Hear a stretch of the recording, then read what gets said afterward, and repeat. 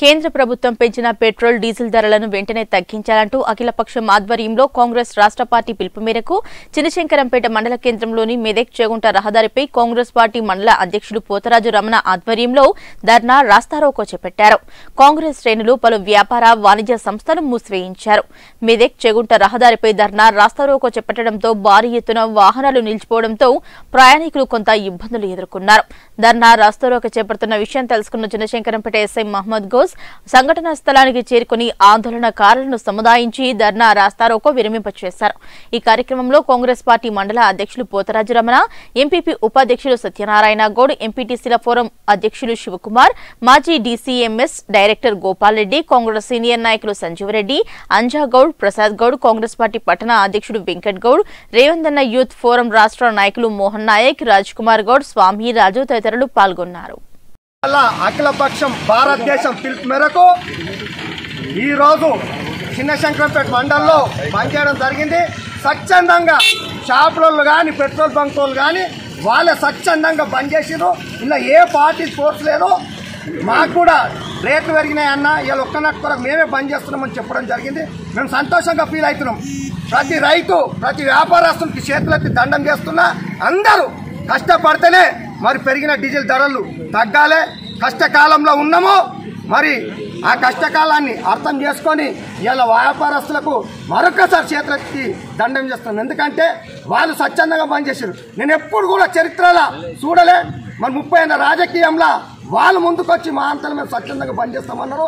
వాళ్ళకి మరొకసారి కూడా ధన్యవాదాలు తెలుపుతున్నా. పెంచిన పెట్రోల్ ధరలు డీజిల్ ధరలు గ్యాస్ ధరలు నిత్యావసర వస్తువుల మీద పెంచిన ధరలు తక్షణమే దించాలి అది ప్రతి రైతు మీద పడుతుంది.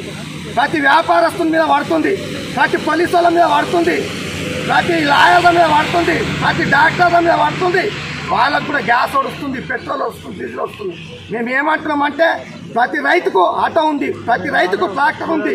ఇవాళ డీజిల్ తెచ్చి దుంతే పన్నెండు వందలకు దుంతే కూడా పద్నాలుగు వందలు చేయడం జరిగింది. పద్నాలుగు వందలు చేసి దుంత కూడా ఇవాళ కోసుకునే టైంకు వర్షాలు వాడి రైతులు నాశనం అవుతారు మాకు వాడేదే డీజిల్. రైతులకు ఖచ్చితంగా డీజిల్ గ్యాస్ పెట్రోల్ ధర దించాలని. నేడు కేసీఆర్ గారు ముఖ్యమంత్రి గారు తెలంగాణ రాష్ట్రం ఏదైతే ఉద్దేశం మీద సోనియా గాంధీ గారు ఇచ్చారో ఆ ఉద్దేశాన్ని మొత్తం తుంగలో దొక్కి ఆయన కుటుంబ పాలన నడిపిస్తూ ఉన్నాడు.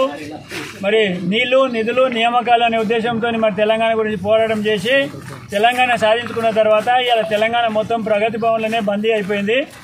ఖచ్చితంగా మరి కాంగ్రెస్ రేవంత్ రెడ్డి గారి ఆధ్వర్యంలో కేసీఆర్ నుంచి కానీ ప్రగతి భవన్ నుంచి విముక్తి చేయాలనుకుంటే తెలంగాణ ఉద్యమంలో ఎట్లయితే పోరాటం చేయడం జరిగిందో అదే విధంగా మరి ఇప్పుడు తెలంగాణ రాష్ట్రాన్ని విముక్తి కల్పించాలనుకుంటే ఖచ్చితంగా పోరాటం చేసి కేసీఆర్ నుంచి కానీ ప్రగతి భవన్ నుంచి విడిపించుకోవడానికి కాంగ్రెస్ పార్టీ సిద్ధంగా ఉందని చెప్తా ఉన్నాం. రెండు వేల ఇరవై మూడు ఎలక్షన్లో ఖచ్చితంగా మరి కేసీఆర్ను గద్దెదించి రేవంత్ రెడ్డి గారి ఆధ్వర్యంలో తెలంగాణలో కాంగ్రెస్ ప్రభుత్వం అధికారంలోకి వస్తుందని చెప్పి చెప్తా ఉన్నాం. ఎందుకంటే మరి కేసీఆర్ గారు ఉద్యమంలో మాట్లాడినప్పుడు నాకు ఏ పదవి అవసరం లేదు తెలంగాణ రాష్ట్రం వస్తే సరిపోయింది నేను ఒక కాపలా కుక్కలాగా ఉంటా అని చెప్పి చెప్పినటువంటి ముఖ్యమంత్రి గారు ఇవాళ ఆయన ఒక పదవి ఆయన కొడుకు ఒక పదవి ఆయన అల్లుడు ఒక పదవి ఇప్పుడు బిడ్డను కూడా రేపో ఎల్లుండో మళ్ళీ ఎమ్మెల్సీగా గెలిపించిన తర్వాత మంత్రి చేయడానికి సిద్ధంగా ఉన్నాడు కాబట్టి ఒకటి కుటుంబ పాలన అయిపోయింది తెలంగాణ రాష్ట్రం మొత్తం కలవకుండా కుటుంబానికే బందీలు అయిపోయింది కాబట్టి అది విముక్తి కల్పించాల్సినటువంటి అవసరం ఉంది.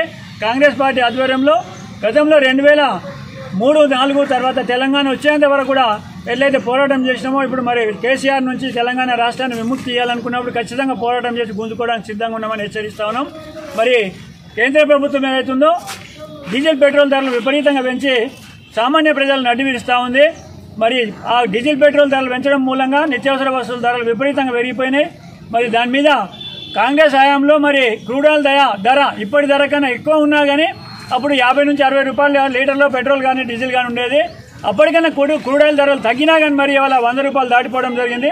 మరి ఇలా ముఖ్యమంత్రి ఏదైతే ప్రధానమంత్రి గారు ఉన్నారో మోదీ గారు మొత్తం ప్రైవేటీకరణ ఇండియానే మొత్తం ప్రైవేటీకరణ చేయడానికి సిద్ధంగా ఉన్నాడు.